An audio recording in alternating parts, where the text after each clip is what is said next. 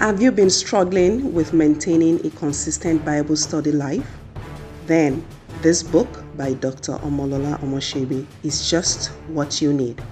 In this book, you will find proven action points that helped her overcome the struggling phase of a Bible study life. The tips in this book are based on her personal experience up until this point. That is to say, that they are still working for her. The seven practical tips that Dr. Omolola has shared in this book will be of tremendous help to you too.